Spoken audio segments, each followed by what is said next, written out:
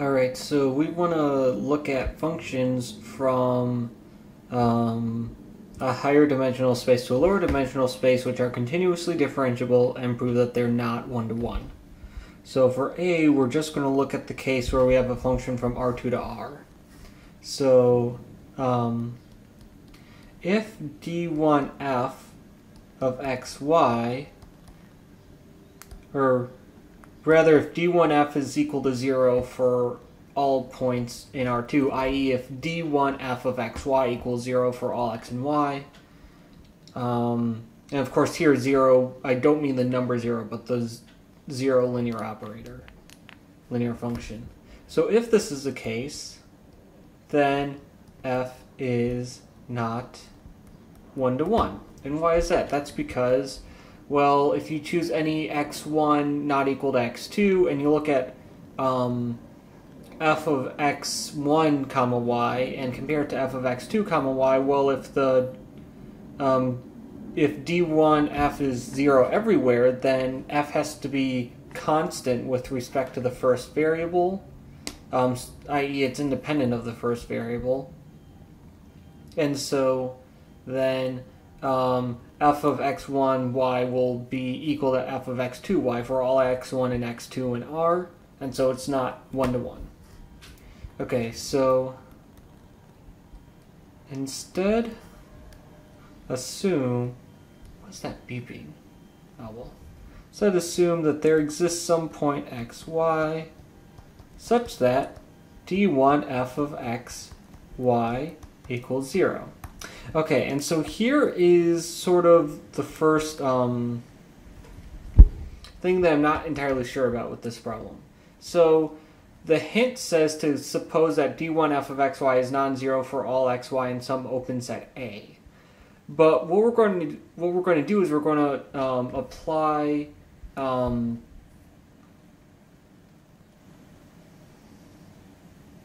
we're going to apply the inverse function theorem at xy. And we will only need d1 of f of xy to be non-zero. Wait. This should be non-zero. So we, we're going to need to apply the inverse function theorem, and so we're going to need d, and so we're going to need this to be non-zero only at the point xy, because um, for or the determinant of this matrix to be non-zero only at the point, only at a particular point, and so. Um, I don't think we absolutely need d1f of xy to be non-zero in a neighborhood or in some open set A. I think all we need is for it to be non-zero at some particular point. But I'm not entirely sure if this is the, case. What's going to end up happening is that um, by inverse function, well, hmm, yeah, I'm not sure. I might be making a mistake here because I'm not assuming everything that the problem says that I should assume. But if there is a mistake, I can't see it. Or I don't see it at the moment. So, anyway, so define g of xy as in the problem statement. So it's going to be f of xy and then y.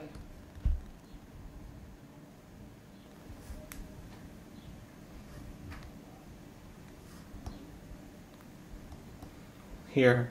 So then given g as above in the problem statement, what we're going to have is we can compute the determinant of g prime of x comma y. So this is going to be the determinant of the matrix d1 f of xy, uh, d and then d1y, and then d2 f of xy, and then d2y, so this determinant, we don't know what anything in the top row is. We knew, do know in the bottom row we've got 0 and we've got 1. So now if we take this determinant, um, we're going to get d1f of xy minus 0 times d2f of xy. So this is going to be d1f of xy which we have assumed is, is not equal to 0.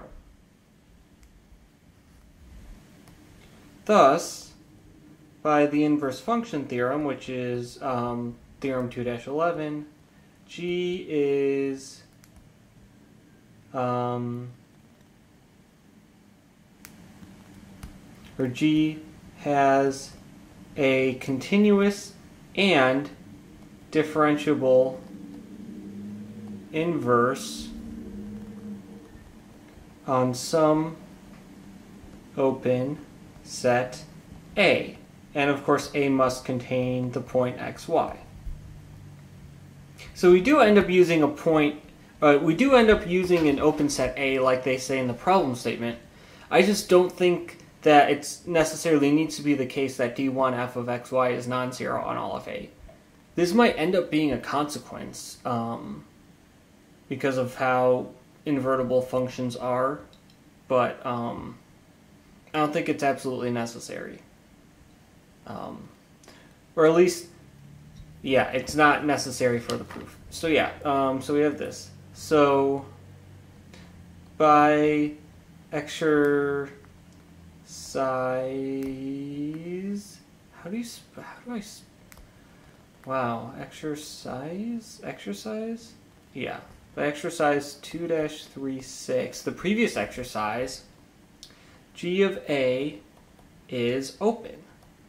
So that's actually the only reason the only reason that we need the inverse function theorem here is not that we're not doing anything with this continuous and differentiable inverse of g. All we're doing is we're using the previous exercise to show that we have the image of A being open. Okay. So thus since g of a, well certainly this contains g of xy because xy is in a, and g of xy equals f of xy comma y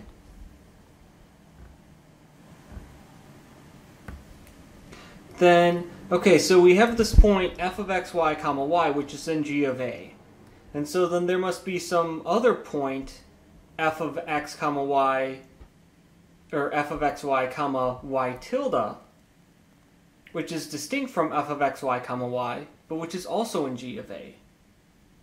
So there is some y tilde which is not equal to y, such that f of x y, y tilde, is in g of a. And this is true because f of x y comma y is not on the boundary of g of a, and so you have to be able to move you have to be able to adjust one of the coordinates just a little bit but and still remain in this open set g of a.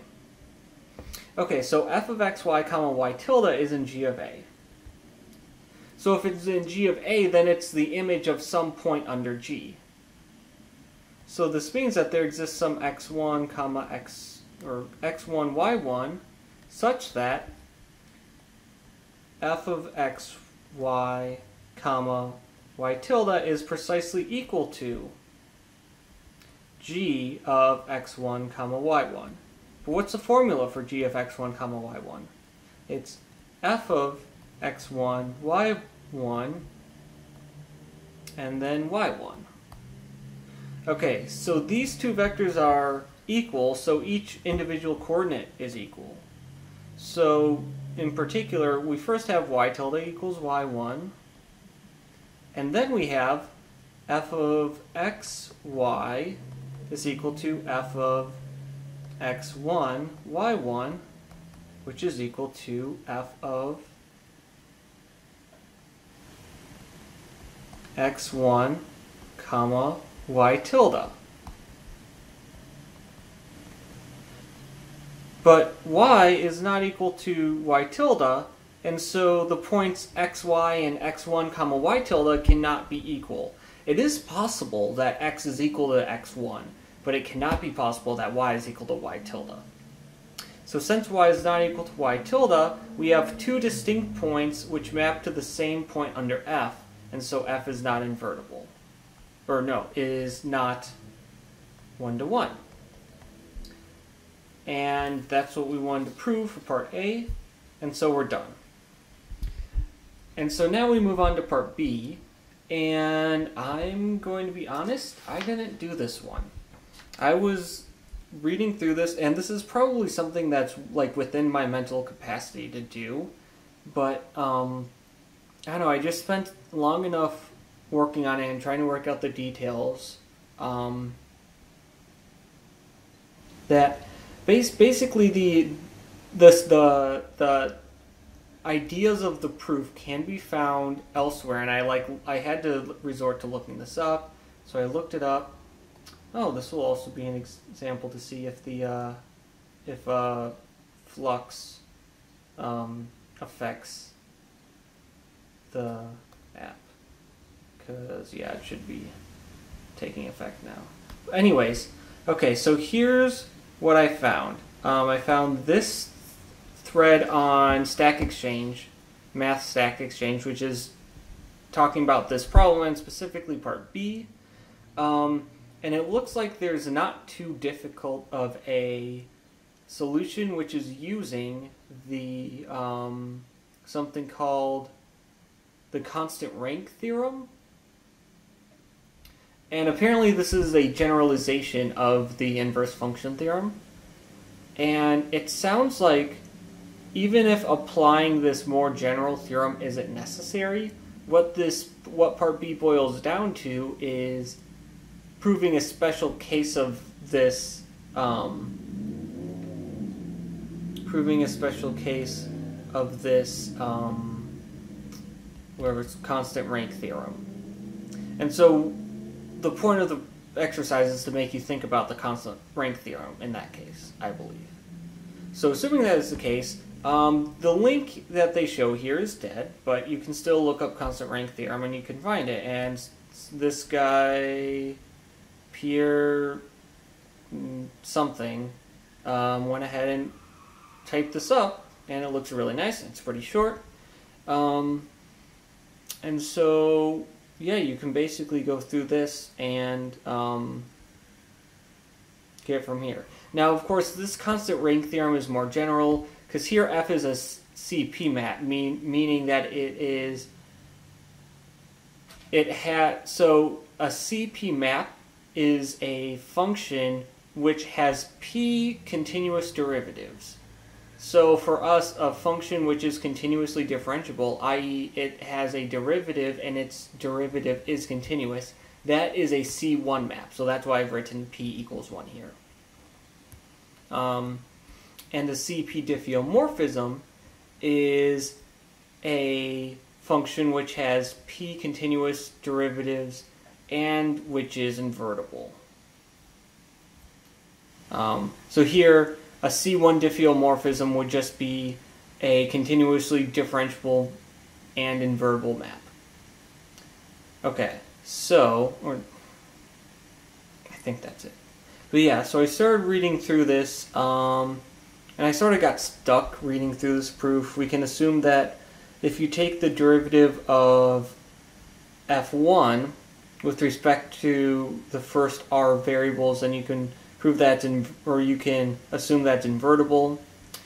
I wonder if this is because the it has rank r, so the range has dimension r, so you can sort of take the r variables that map into I don't know. Actually, no. I, I just straight up don't know why this is. And I feel like this is something which is not difficult because typically when you have a, a one sentence thing like this, it's something that's easy.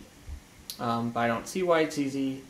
And I was just sort of hitting my head against a wall, figuratively trying to figure this out.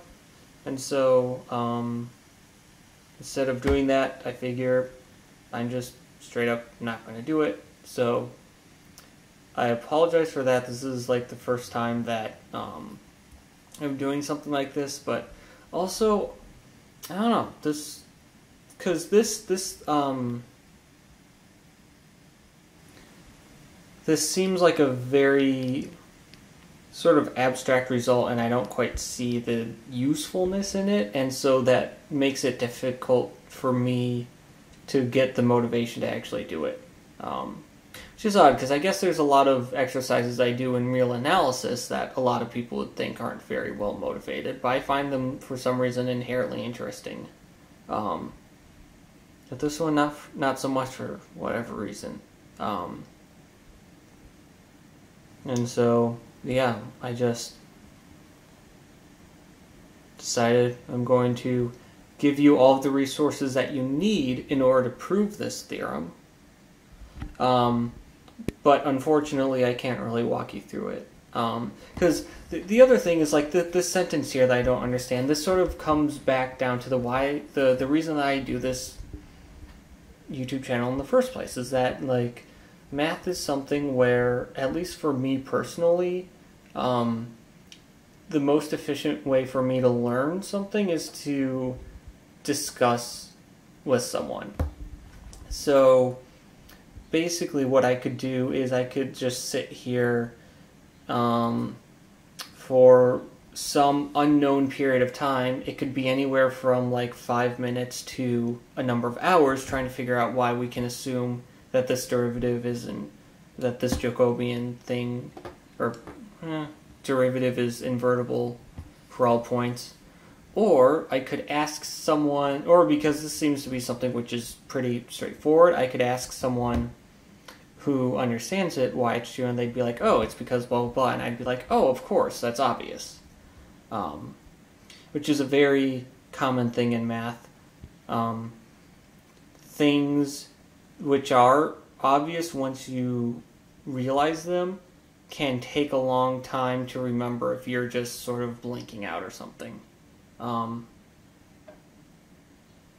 so yeah, hopefully in other videos I will be able to go into continue to go into as much detail as I do so that I can sort of like explain the um, the small nuances and explain why things are as obvious as the proofs say that they are. But here I don't really have I can't interact with this writing of the constant rank theorem.